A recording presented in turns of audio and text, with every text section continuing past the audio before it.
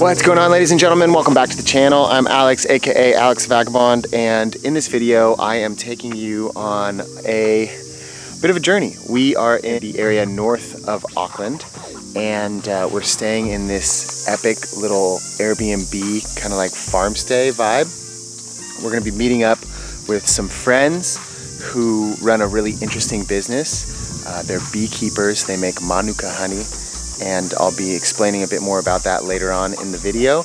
And then in a couple of days, we will be reunited with our dog, Lanka, uh, and explaining everything behind how we got him here and his whole journey. So it's gonna be a fun video. Um, I'm excited to take you along on the journey and let's get into it.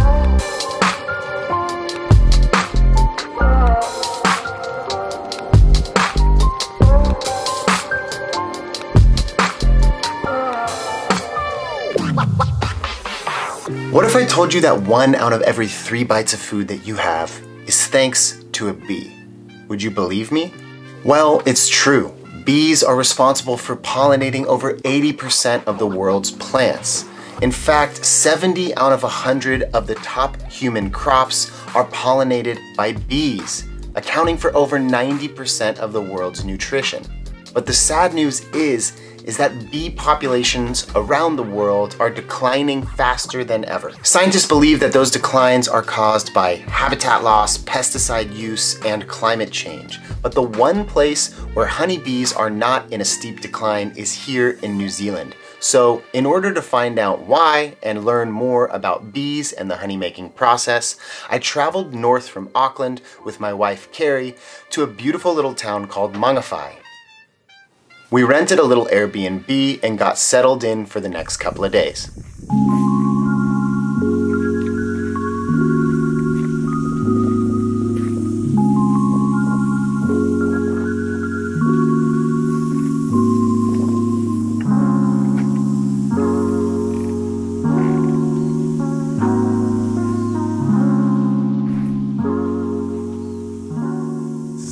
Okay, well this place is awesome definitely just complete lifestyle goals, really. You know, it seems like they've probably just taken a couple of trailers, maybe a uh, shipping container or two, and then they've just arranged them kind of in like a horseshoe shape with the central area being this little outdoor living space. But everything just opens right up and um, just absolutely gorgeous design. Take a look. But enough about our accommodation. This video is about honey and it's about bees. And in order to learn more about both of those things, we met up with Richard Kidd, an apiarist and the owner of Marshwood Apiaries. Apiarist means beekeeper. Our most important asset is our landowners, because Oh. yeah. Our most important asset is our landowners, so we need to um, make sure that well we are allowed on and off other people's land because yeah. because we treat it with respect and uh, reimburse them for the, the privilege of being there. In a strange twist of fate and coincidence, Richard is the husband of one of Carrie's childhood friends who met him, fell in love, got married, and moved to New Zealand herself. So when the Kidd family invited us to come learn more about beekeeping and honey making, we jumped at the opportunity.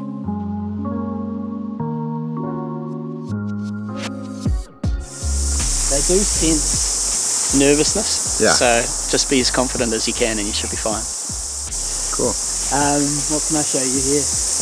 But see these girls with their bums up, flapping mm -hmm. their wings? Yeah. We call that fanning and what that is, is the, the bees creating an air current within the hive. So when nectar comes in from a hive at, at roughly 70% moisture, mm -hmm. here's a boy. This one here's a boy.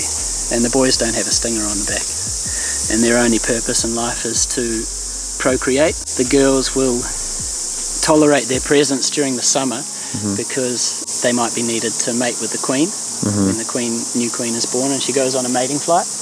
But come winter, they're just a bird into the colony and they can't even feed themselves. So the girls will all kick the boys out and uh, let them die a cold, lonely death outside the hive.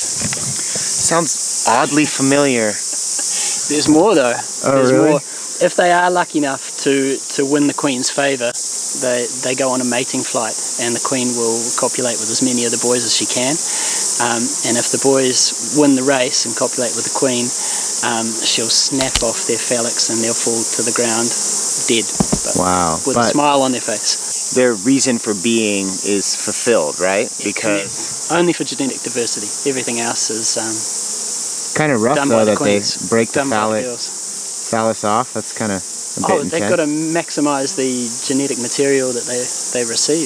Because Wow. once the, the queen will only go on a, on a mating flight once in her life, and during that on that one flight, she's got to have enough semen from all the boys, and she might mate with you know a dozen or more boys to lay hundreds of thousands of eggs. Wow. So um, these girls, they're creating a current within the hive to allow for evaporation of moisture from the nectar. So the nectar comes in, and the bees go to the flower. They drink the nectar and put it into their stomachs. They come back and they they put it into the frames within the hive, and then they evaporate the moisture off. And that evaporation process, as well as the combination of enzymes in their gut, um, turns that nectar into what we know as honey.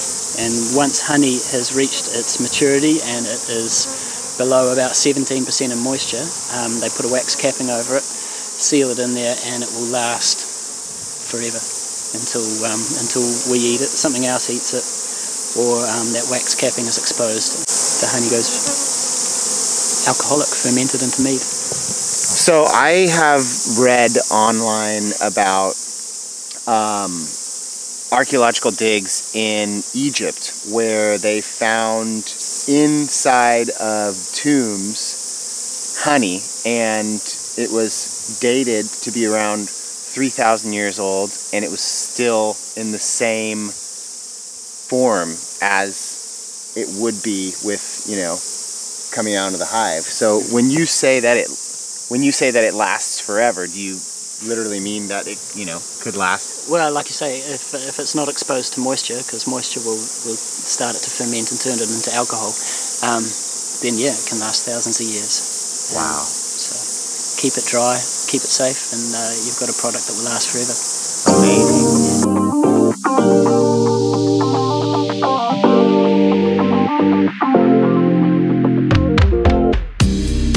With a bit of an introduction to beekeeping, it was time to suit up and take a look inside the hive. So we drove across the coastal mountains to one of his more scenic hive locations.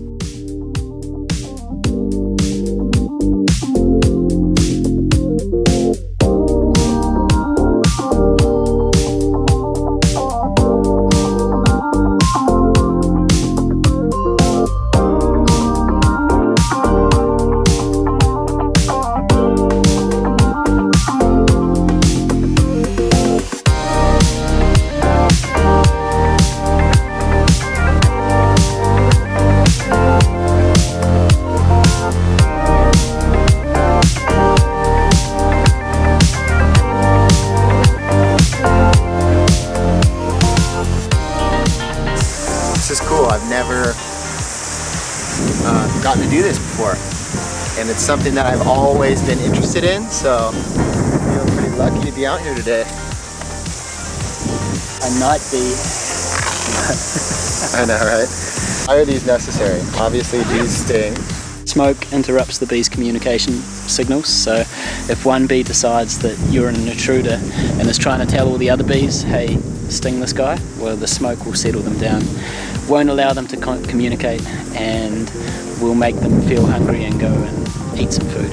When we got pregnant with my firstborn child, we were living in the city and were suddenly struck with a bit of a conundrum. Do we stay in the city and live the city life, or do we try something new? And uh, my parents had recently moved up to the area where we are here now, and provided an introduction to who became my de- my business partner, Alan.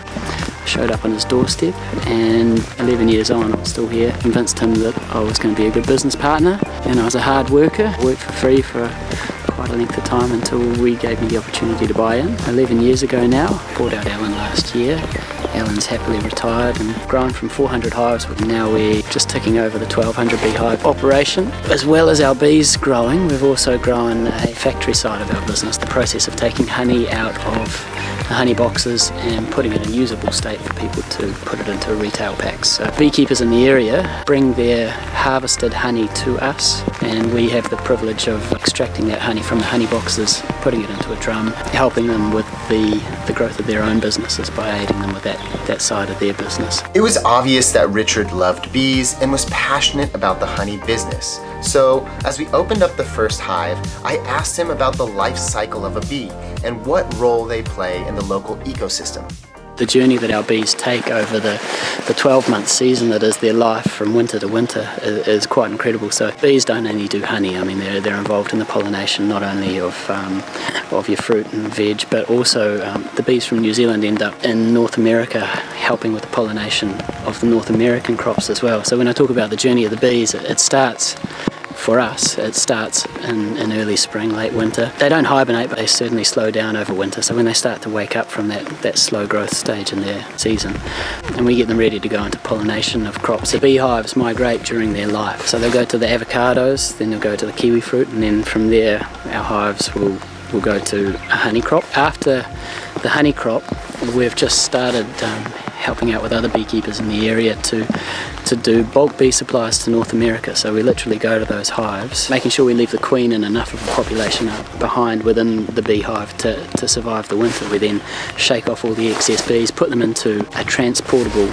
queue with a couple of days worth of food and we put them on a plane and they go to North America, help with the pollination of North American crops. And that is more important now than ever before. With bee populations in North America declining faster than ever, New Zealand's surplus bees are sorely needed to help rebuild populations and pollinate crops in other parts of the world.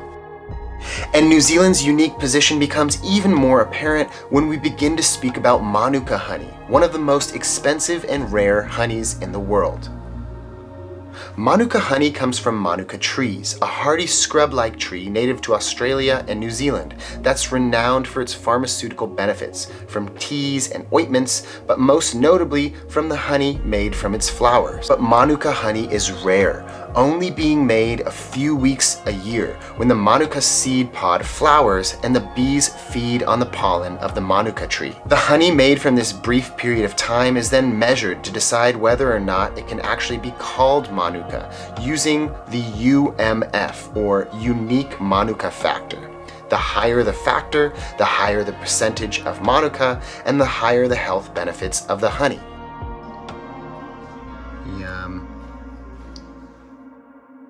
What's so special about Manuka honey? Well, the big thing about Manuka is its proven antibacterial properties. So all honeys have some goodness if you put them on a, on a wound as a topical dressing, but Manuka has been proven through numerous tests and studies that it is significantly better than other honeys out there. Like Richard said, Manuka honey has been scientifically proven to be antibacterial, antiviral, anti-inflammatory, and have antioxidant benefits. And when applied to the skin, the honey can aid in wound healing, especially burns, treating acne, and antibiotic-resistant strains of infections like MRSA. This is the mother plant, Manuka.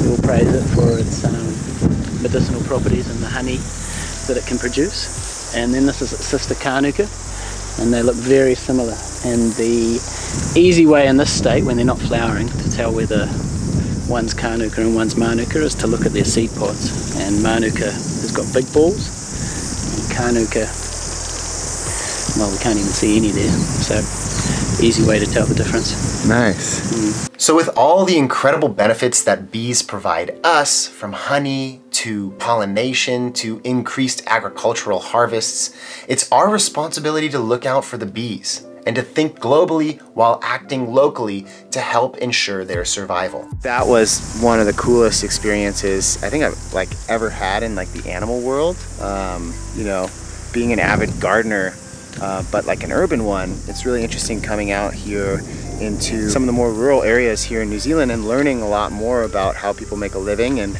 how humans and the animal world can kind of work together in this symbiotic relationship. And I think beekeeping is really a powerful example of that. And bees have never been in a more difficult position than they are right now globally. Um, but they're also, you know, the more that we begin to understand bees, the more we realize their role in um, all of our agricultural systems. So our ability to grow food to feed a growing world is intricately connected with the health of bees.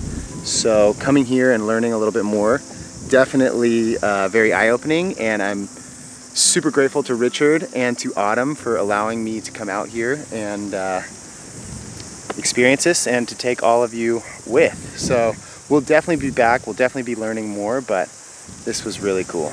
We can do a couple of simple things to help protect the bees, like planting flowers or vegetable gardens in our backyard, as well as work in our local communities to preserve wild areas and wild habitat where the bees can forage for food. We can also ask our local councils and representatives to ban toxic pesticides that kill bees. Because isn't it worth protecting the pollinators that provide us with food? In the end, their survival is intricately linked to our own. So to find out more information, you can check out the Xerces Society, which I have linked in this video, and you can find out what you can do in your local community to help protect the bees. And lastly, I want to say a huge thank you to the Kidd family. Thank you, Richard, Autumn, and all the girls for showing us an incredible day, educating us about bees, and for uh, hooking us up with some delicious honey. Thank you all so much. Okay everyone, well I know this video is a little bit different than my previous videos, but if you enjoyed it, please remember to give it a thumbs up, leave a comment down in the comment section and tell me your thoughts about this video, and if you are not subscribed to my channel yet, please help me out and hit that subscribe button so you don't miss out on any future videos. Okay everyone, have a good one, peace.